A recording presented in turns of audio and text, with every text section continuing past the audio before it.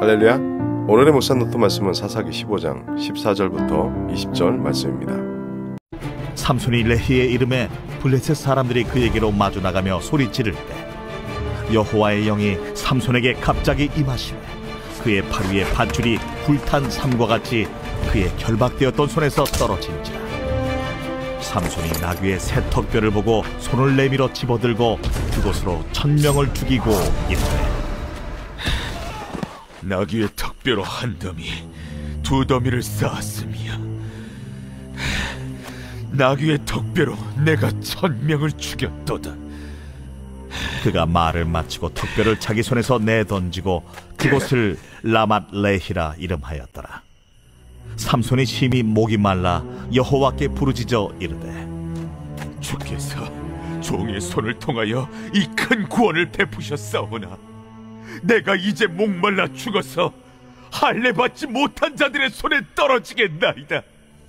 하니 하나님이 레히에서 한 우묵한 곳을 터뜨리시니 거기서 물이 솟아나오는지라 삼손이 그곳을 마시고 정신이 회복되어 소생하니 그러므로 그 샘 이름을 엔하고레라 불렀으며 그 샘이 오늘까지 레히에 있더라 블레셋 사람의 때에 삼손이 이스라엘의 사사로 20년 동안 지냈더라 본문은 블레셋을 향한 삼손의 보복 사건의 마지막 내용이 기록되어 있습니다. 앞서 살펴본 것처럼 블레셋의 침공에 유혹을 느낀 유다 사람에 의해 삼손은 결박당하고 끌려갔습니다. 그리고 그 이후 이야기가 오늘 본문입니다. 본문은 결박당한 삼손을 보고 블레셋 사람들이 기뻐하며 소리 지르자 하나님의 영이 갑자기 삼손에게 임했다고 말합니다. 이처럼 우리가 살아가면서 인간적인 방법으로 성공을 꾀하지만 정작 최종 기쁨은 하나님이 주셔야 하는 것입니다. 그리고 승리 역시 성령의 능력이 아니고는 감당할 수 없는 것입니다. 본문의 삼손 역시 하나님의 영이 임하니까 그를 묶고 있던 줄도 불에 탄 삼과 같이 끊어졌습니다. 그리고 삼손이 나귀의 새 턱뼈를 집어들고 블레셋 사람들을 도륙하기 시작합니다. 그때 죽은 자가 천명이라고 합니다. 아무리 한 사람이 힘이 세다 해도 천명을 상대할 수는 없습니다. 그러나 그것을 가능하게 하시는 것은 하나님의 능력입니다. 기억하십시오. 이처럼 성령이 성령의 사람은 아무도 감당하지 못합니다.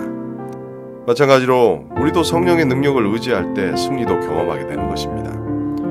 삼손은 이제 자유로운 손으로 나귀의 새 턱뼈를 손에 들고 블레셋 사람들을 대적하기 시작합니다. 어떻게 보면 보잘것없는 새 나귀 턱뼈입니다. 당시 블레셋 사람들은 철기 무기를 사용하고 있었습니다.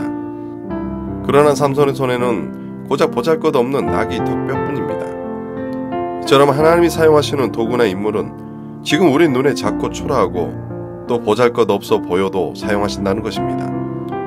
우리가 대개 무엇을 감당할 때 항상 우리는 우리 손에 들린 것을 바라봅니다. 어쩜 철기 무기로 무장한 군대를 향해 턱뼈는 그리 강력한 무기가 될 수 없습니다. 기억하십시오. 우리 손에 무엇이 들려있든 하나님이 들어 쓰시면 그 일을 능히 행할 수 있는 능력의 도구가 될 수 있음을 믿으시길 바랍니다. 그렇게 나의 인생을 스스로 평가하고 또 주저앉기보다 성령을 통해 나를 존귀케 하시고 또 하나님의 귀한 사역을 감당하게 하실 은혜를 기대하며 하나님께 나아가십시오. 이후 삼손은 블레셋과의 전쟁에서 크게 이겼지만 심히 목이 말라 하나님께 목말라 죽게 되었다고 강구합니다.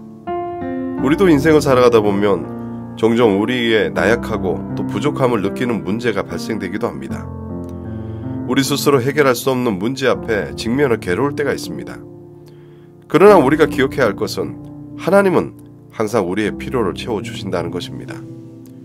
그렇기 때문에 우리가 사는 삶이 아무리 모진 싸움터와 같은 세상이지만 영적인 갈증을 풀어주시는 분은 오직 여호와 하나님밖에 없습니다. 그러기에 우리가 아무리 연약해도 하나님의 도우심을 구하십시오.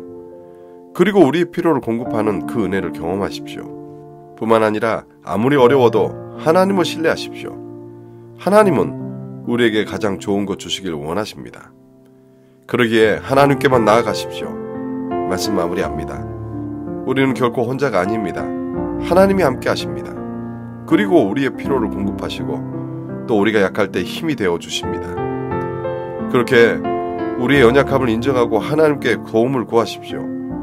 그리고 그 은혜 안에 하나님을 더욱 신뢰하며 믿음으로 이 하루를 살아가십시오. 이러한 믿음의 고백을 통해 삶의 연장에서 살아계신 하나님을 경험하는 은혜가 있기를 주님의 이름으로 축원합니다. 함께 기도하시겠습니다. 그렇습니다. 사실 삼손의 모습만 보면 사사였지만 그에게 능력도 주셨지만 갈등 앞에서도 아무것도 할 수 없는 연약한 사람임을 보게 됩니다. 그렇습니다. 자신으로 사명을 온전히 감당하지 못한 삼손이지만 이스라엘을 너무나 사랑하시는 하나님이기에 연약한 삼손을 통해서도 하나님의 역사를 이루감을 보게 됩니다. 그렇습니다.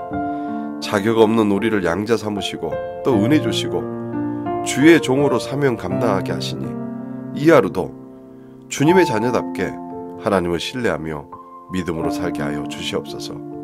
감사드리며 예수님의 이름으로 기도합니다. 아멘.